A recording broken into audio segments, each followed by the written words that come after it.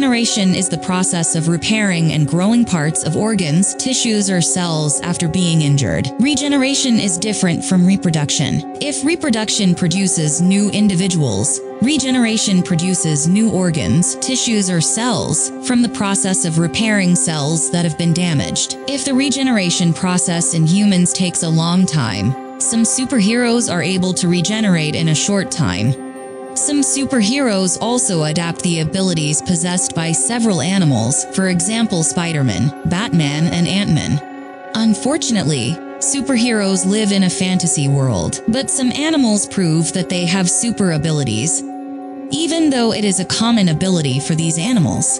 And this is an animal that has extraordinary regeneration abilities like Deadpool and Wolverine.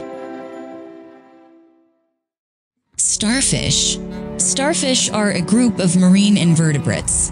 This animal is known for its ability to regenerate amputated limbs. The limbs are flexible arms attached to a central disc. The central disc is important for regeneration in nearly all starfish species. A starfish that has had its arm cut off will first undergo a repair phase to heal any open wounds. Once the wound has healed, the starfish can start producing new cells, which eventually trigger new growth. Regeneration can take months to years. If the regeneration process doesn't go well, the resulting new limbs can change shape. Starfish reproduce both sexually and asexually. The asexual way is to divide the central disc into several parts. Sea stars can also amputate limbs to escape predators. The starfish that has lost its arm will then heal itself and grow a new arm. Uniquely, the newly severed arm also has the possibility to completely regenerate and become an adult starfish. Regenerating from a severed limb without a central disc for some species of starfish it is possible to grow a new central disc and four additional arms. Then they are able to become new starfish with perfect shape. Red stag. The red stag is a species of moose and is the fourth largest extant deer species.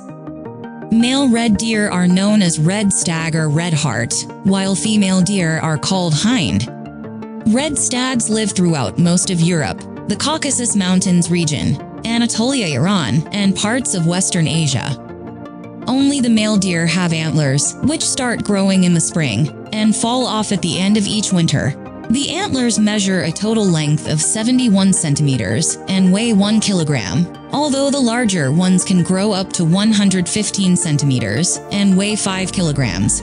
The fallen antlers then grow back. The growing antlers are made of bone and covered with a hairy skin called velvet. The function of the velvety skin on the newly growing antler is to supply oxygen and nutrients to the growing bone. What makes the red stag a place on this list is the deer's ability to grow its antlers up to 2.5 centimeters per day. The antlers of red stag are strongly influenced by testosterone levels. When autumn arrives, the red stag experiences a drop in testosterone levels that causes the velvet to fall off and the horns to stop growing. Conversely, when winter arrives, red stag testosterone production starts to build up to approach the mating season. Red deer also have the ability to grow thicker fur in winter to help them stay warm. The red deer is also able to grow a mane around its neck in spring. There are several reasons why deer shed their antlers in spring and grow antlers in winter. One is to dig up food that is covered by layers of ice. And like all animals with horns, red stags also attract mates and protect themselves with antlers. Salamander Amphibians are animals that can live in two habitats, namely land and water. The most famous example of an amphibian is the frog, but there are animals other than frogs that are able to live in two habitats. Like frogs, salamanders are amphibians. However, because it is less popular, many people do not know this animal. Salamanders have a lizard-like shape. Although they look similar at first glance, salamanders are not lizards.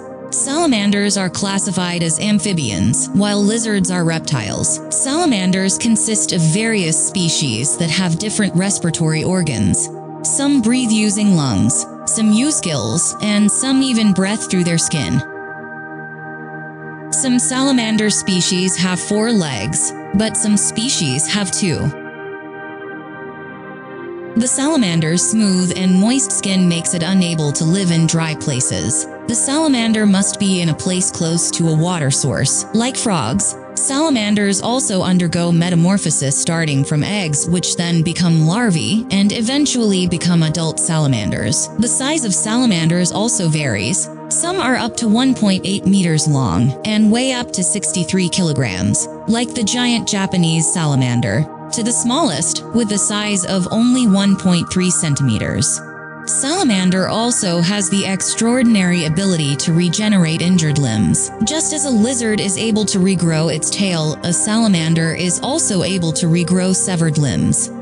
A salamander that has lost all four of its legs will have no problem, as they will grow back exactly as they were before.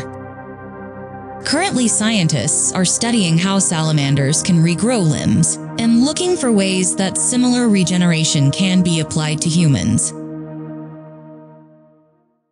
Flatworms. Flatworms have the potential to live forever in the world.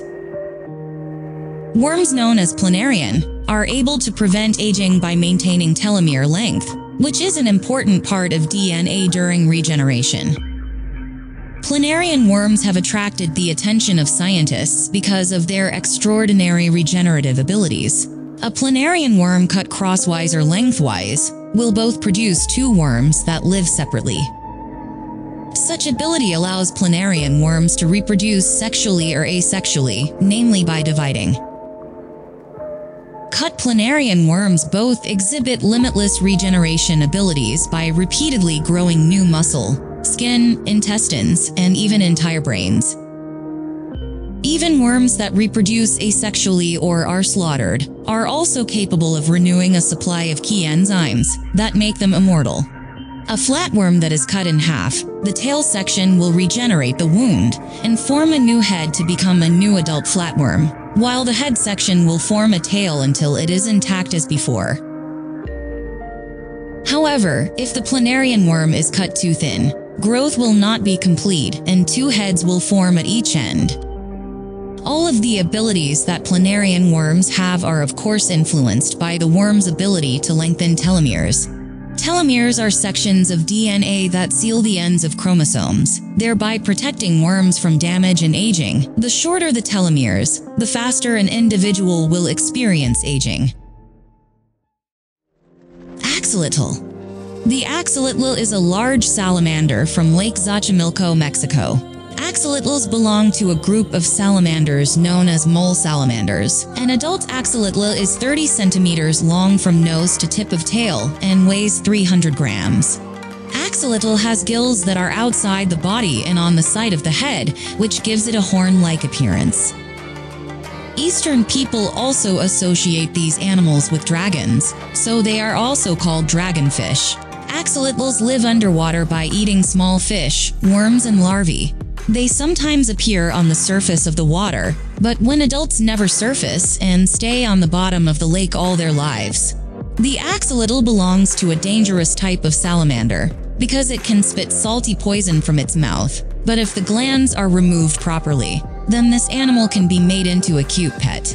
Another uniqueness possessed by the axolotl is that it is able to regrow limbs, fangs, skin, organs, parts of the brain, injured spine, and even the heart, so that it grows back to its original state. While some other animals have the ability to regenerate, only the Mexican salamander can regrow so many amputated body parts.